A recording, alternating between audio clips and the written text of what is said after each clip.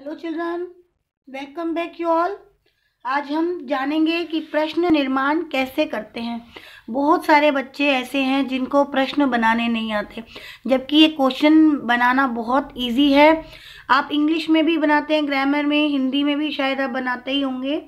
और संस्कृत में भी कैसे बनाते हैं, आज मैं सिखाऊँगी कि प्रश्न निर्माण कैसे करते हैं। जैसे बेटा आपके इंग्लिश में होते हैं when who what whose whom who, how तो उसी तरह से संस्कृत में भी होते हैं।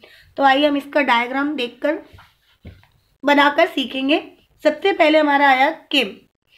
किम का जो है हमारा रूप चलता है पुलिंग, स्त्रीलिंग और नपुसकलिंग में।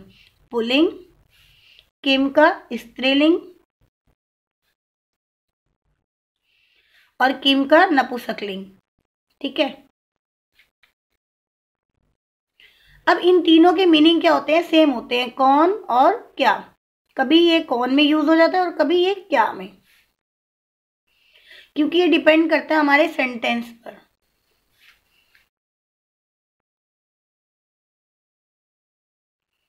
ओके, नेक्स्ट हमारा आ गया कुतः कहाँ से?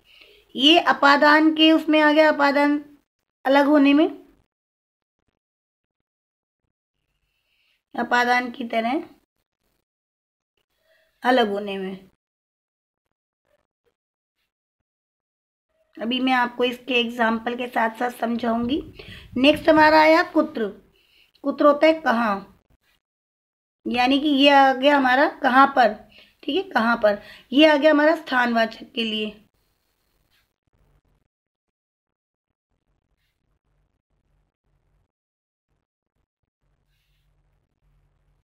नेक्स्ट हमारा आएगा कथम। कैसे? ये हमारा आ जाएगा क्रिया विशेषण के लिए।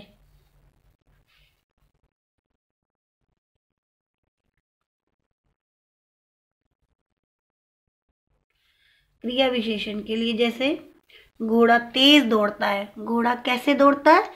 अश्व कथम धावती तो अश्व तीव्रम धावती तो कैसे दौड़ते है, ठीक है? नेक्स्ट आया हमारा कति।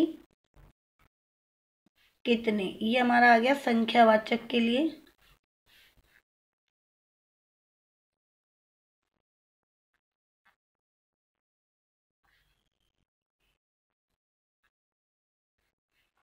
ओके एक हमारा आ जाएगा कदा।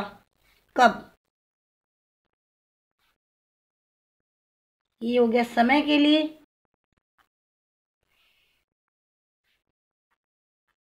जैसे समय के लिए एग्ज़ाम्पल ले लो। बालकः सायकाले क्रीडंती या पठंती, ठीक है? कोई भी आप ले सकते हो। उसके बाद आया हमारा कीदृश है ये हमारा की दृश्य जो है, इसका शब्द रूप चलता है। पुलिंग, स्त्रीलिंग और नपुसकलिंग। कीदृश, कीदृशी और कीदृशम। तो ये हो जाएगा कैसा। तो ये किसके लिए आ गया? विशेषण के लिए। एडजेक्टिव ओके अब हम सभी इसके साथ साथ एग्ज़ाम्पल देखेंगे ताकि हमको क्लियर हो जाए कि ये कैसे बना। सबसे पहले हमने क्या लिया? किम का पुलिंग रूप देखेंगे।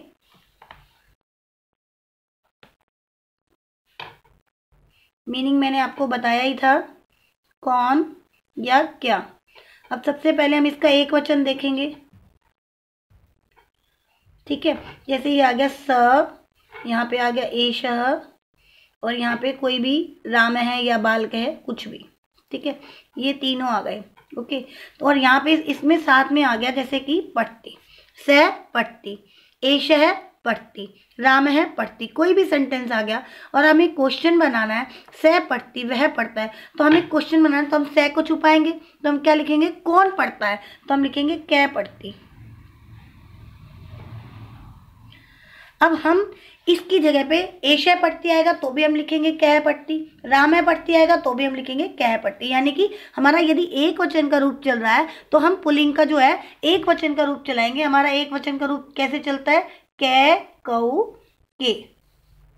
और स्त्रीलिंग में कैसे चलता है? का, के, काहा।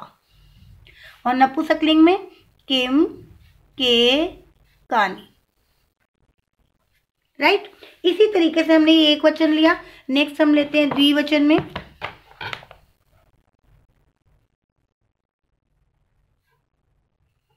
अब द्विवचन में देखेंगे क्या हो जाएगा। सह का क्या हो जाएगा? तऊ। एशय का, ए तऊ। और रामे का रामऊ ओके? और यहाँ पे क्या आ जाएगा? पठत कोई भी क्रिया आ सकती है, लेकिन वो आएगी द्विवचन में। तऊ पढ़ते आ गया, ए तऊ पढ़ते आ गया या रामो पढ़ते आ गया। तो हमें इसका क्वेश्चन बनाना है तो हम क्रिया तो हम सेम ही रखेंगे, ये वाली क्रिया तो ठीक है? लेकिन यहाँ पे हम चेंज कर देंगे। जैसे यहाँ पे द्विवचन का रूप आ गया तो हम यहाँ पे भी किम का जो रूप चलाएँगे, वो हम कऊ। द्विवचन का चलाएँगे, प्रथमा विभक्ति का, ओके? तो यहाँ पे हो जाएगा कऊ पढ़ता है सभी को क्लियर हो गया? नेक्स्ट आया बहुवचन में देखते हैं। बहुवचन में हो गया के एते और राम। राइट बाल कहा भी हो सकता है। ठीक है ना? ये डिपेंड करेगा अपने सेंटेंस पे। तो यानी कि यहाँ पे अब ये बहुवचन आ गया तो बहुवचन की ही क्रिया लेंगे हम। पठंती। ओके अब ये आ गया। सॉरी यहाँ पे हमने क्या लिया था? के यहाँ पे हमने लेना ते। से तऊ ते। ठीक है? तो ये आ गया ते, एते राम अब हमें ते पठंती या एते पठंती या राम पठंती के लिए हमें क्या क्वेश्चन बनाना है? के पठंती। अगर आपको ये शब्द रूप याद होंगे, किम का, तीनों लिंगों में तो आपको कोई मुश्किल नहीं आएगी। अगर यहाँ पे कोई षष्टी विभक्ति से आ गया सेंटेंस जैसे यह छात्र की पुस्तक है, ठीक है? या यह राम की पुस्तक है तो ये आ गया कि एश है रामस्य पुस्तकम अस्ति और हमने यहाँ पे दे दिया कि यह किसकी पुस्तक है? रामस्य दिया। अब रामस्य हाईलाइटेड हो गया कि रामस्य की जगह हमें क्वेश्चन बनाना है। तो हमने किम का ही शब्द रूप चलाना है और रामस्य की जगह हमने लिखना है कस्य। क्योंकि किम का षष्ठी विभक्ति एक वचन होता है, कस्य इज़ इट क्लियर नेक्स्ट देखते हैं स्त्रीलिंग में। किम? स्त्रीलिंग में हो गया। मीनिंग आपको मालूम ही है कौन और क्या। अब यहाँ पे आ गया सा। एक वचन में ही देखेंगे। सा या फिर एशा या फिर लता। ठीक है? कोई भी चीज़ आ गई और यहाँ पे क्रिया आ गई लिखती। या भ्रमती आ गई पढ़ती आ गई, खेलती आ गई तो आपने क्या करना है? सा लिखती। यानी कि कौन लिखता है? अगर हमें बनाना है वह लिखती है तो कौन लिखता है? तो यहाँ पे हम लिखेंगे का लिखती। कौन लिखता है? और यहाँ पे हम क्वेश्चन मार्क पुट कर देंगे। राइट ऐसे ही हमारा द्विवचन में क्या हो जाएगा?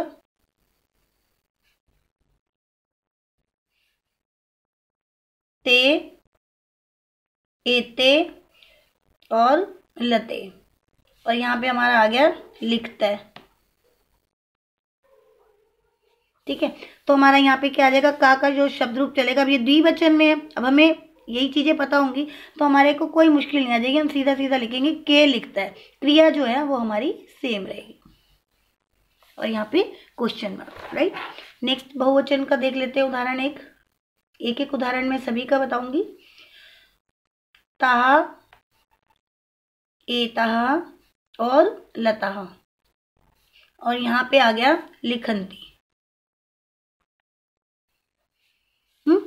तो यहाँ पे क्या हो जाएगा? किन का रूप? शब्द रूप स्त्रीलिंग में चलाएँगे। का, के, कहा। तो यानी कि यहाँ पे ताहा दे रखा है तो यहाँ पे हो जाएगा कहा। काहा लिखनती कौन लिखती है? राइट और अगर आपको इसी का आंसर लिखना है, कहा लिखनती तो आपको आपको स्त्रीलिंग में देना अगर कोई ऑप्शन गिवन नहीं है तो आप अपनी मर्ज़ी से लिख सकते हैं। ठीक है? ता भी लिख सकते हैं मालाहा भी लिख सकते हैं ए ता भी लिख सकते हैं एज यू विश ठीक है? अगर आपके पास ऑप्शन गिवन नहीं है तो। ऐसे ही किम का नपुसकलिंग में आ गया। किम नपुसकलिंग में मीनिंग आपको मैंने बताया ही है, कौन या क्या के लिए यूज़ हो जाता है। तो यहाँ पे आ गया एक वचन में, तत् पत्रम और एतत्। कोई भी वर्ड आ गया। और यहाँ पे आ गया पतति। ठीक है? तत् पतति वह गिरता है, पत्रम पतति, पत्ता गिरता है, एतत् पतति, यह गिरता है। तो आपके लिए आपको इसके लिए क्या क्वेश्चन बनाना है? किम पतति। कोई भी तीनों में से एक आ गया तो आपको बनाना है किम पतति, क्या गिरता है राइट ऐसे ही द्विवचन में देखेंगे। ये बात मैं बार बार कह रही हूँ कि इसके लिए आपको शब्द रूप आना बहुत ज़रूरी है किम का। ते पत्रम का हो जाएगा पत्रे द्विवचन में और एतत का क्या हो जाएगा? एते। यहाँ पे आ गया पततय तो यहाँ पे क्या आ जाएगा? किम के कानी। तो यहाँ पे आ जाएगा के पततय अब जो हमारा स्त्रीलिंग का शब्द रूप चलता है के, ये भी स्त्रीलिंग में द्विवचन में आया और ये भी नपुसकलिंग में, ठीक है? बट डिपेंड करेगा कि हमारा सेंटेंस कैसा है। ओके? अब पत्र से ही पता चल रहा है हमें कि, पत्रे से ही पता चल रहा है कि हमारा नपुसकलिंग का वर्ड है। ओके? नेक्स्ट हमारा आया बहुवचन में। बहुवचन में क्या हो जाएगा? तानी, पत्राणी और एतानी। ओके तो ये हमारा क्या हो गया? पतंती। ठीक है? तो यहाँ पे हमारा क्या आ जाएगा? कानी। क्योंकि यहाँ पे बहुवचन, यहीं से भी पता चल रहा है हमें कि यहाँ पे कहानी है। कानी मत लिखना, क्योंकि ये पत्राणी, अणा क्यों आया? क्योंकि इसमें र की साउंड है। ओके चिल्ड्रन तो कहानी आया ना तो आपने यहाँ पे तानी आया पत्राणी आया, या एतानी आया तो आपने क्या लिखना है? कहानी पतंती। तो ये तो हमारे सारे किम के पूरे हो गए। नेक्स्ट देखते हैं हम। नेक्स्ट हमारा सपोज़ आ गया कुत्र। कुत्र होता है कहाँ पर, या कहाँ? ठीक है? तो ये हमारा हो गया स्थानवाचक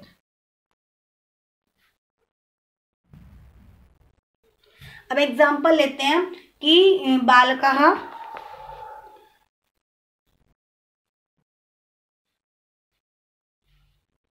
उद्याने क्रीडंती। अब इसको हाईलाइट कर दिया कि हमें क्वेश्चन बनाना है तो हम कैसे करेंगे? बालका उद्याने क्रीडंती तो हम लिखेंगे बालका कुत्र क्रीडंती अब हम यहाँ पे क्वेश्चन मार्क पुट कर देंगे। तो उद्याने की जगह मैंने क्या दे दिया? कुत्र। आप इसको हाईलाइट कर दो कि आपने इसका क्वेश्चन बना दिया। बाल कहा? कुत्र क्रीडंती बालक कहाँ खेलते हैं? बालक बाग में खेलते हैं। अगर आपको इसका आंसर बनाना है तो आपको पता होना चाहिए कि ये जो हमारा स्थानवाचक है, ये सप्तमी विभक्ति में आता है यूज़। सप्तमी विभक्ति में यूज़ होगा आंसर ठीक है? ऐसे ही एक और एग्ज़ाम्पल देखते हैं नेक्स्ट का एग्ज़ाम्पल देखते हैं कुत्ता है। कुत्ता होता है कहाँ से? तो ये हो गया अलग होने के भाव में, जैसे गंगा, हिमालयात,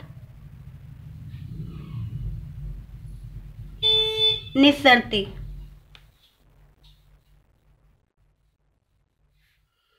अब यहाँ पे आ गया, गंगा हिमालय से निकलती है। तो गंगा हिमालय से निकलती है। अब हमें बनाना है गंगा कहाँ से निकलती है। तो हम क्या लिखेंगे? गंगा हिमालयात की जगह कहाँ जाएगा? कुतः है क्योंकि ये एक स्थानवाचक है। तो कुतः है निस्सरती और यहाँ पे हम क्या करेंगे? क्वेश्चन मार्क पुट कर देंगे। ठीक है? ऐसे ही नेक्स्ट आ गया कथम। कैसे? ये किसके लिए यूज़ हुआ? क्रिया विशेषण के लिए।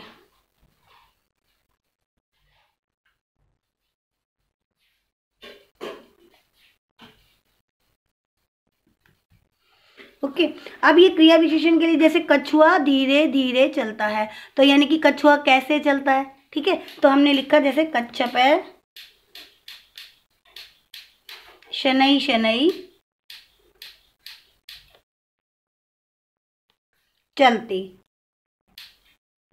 ओके, ये जो शनई शनई, यानी कि ये क्रिया विशेषण हो गया। तो यानी कि कैसे चलता है? तो हम इसके शनई शनई अंडरलाइन अगर आ गया या हाईलाइटेड होके आ गया तो हम इसकी जगह क्या लिख देंगे? कथम। और बाकी सेंटेंस हम सेम लिखेंगे। और यहाँ पे हम एक क्वेश्चन मार्क पुट कर देंगे। ठीक है? एक और एग्ज़ाम्पल देखते हैं, कति। कितने? यानी कि ये हमारा संख्यावाचक के लिए यूज़ हो गया।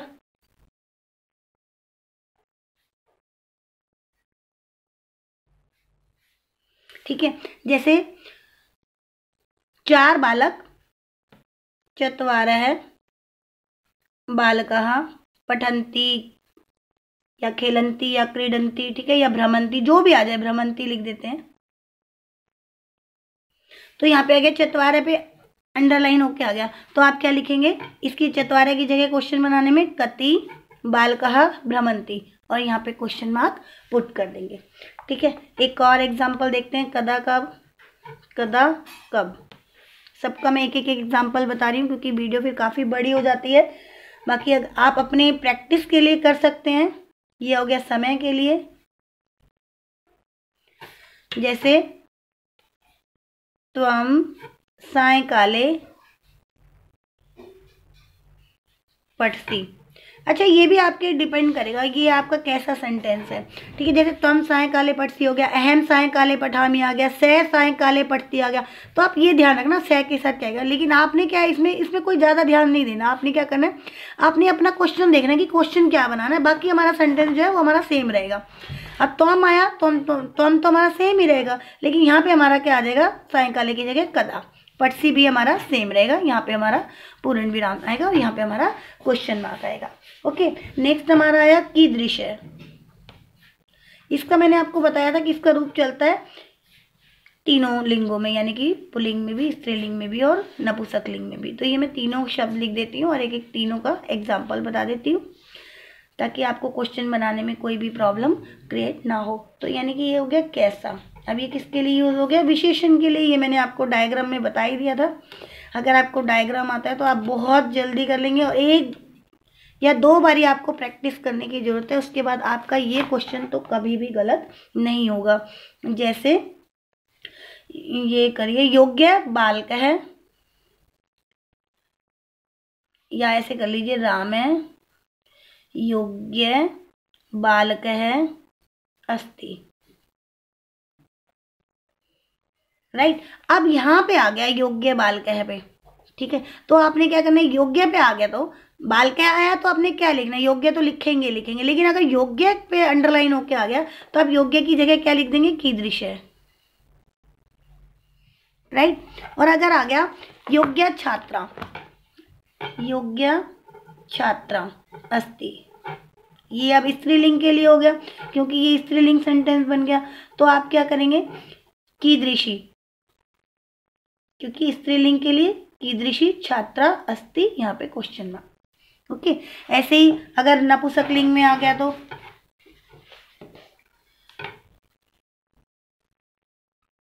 क्या लिखें?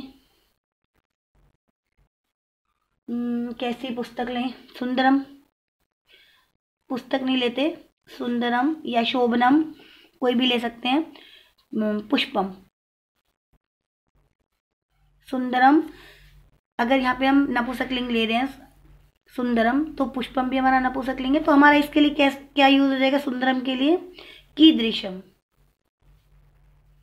कीदृशम, पुष्पम। तो ये आपके क्वेश्चन इस तरह से बनते हैं। आप और भी सेंटेंस लेके आप ट्राई कर सकते हैं, और अगर आपको बाई चांस कोई डाउट हो तो आप कमेंट बॉक्स में लिख सकते हैं और पूछ सकते हैं।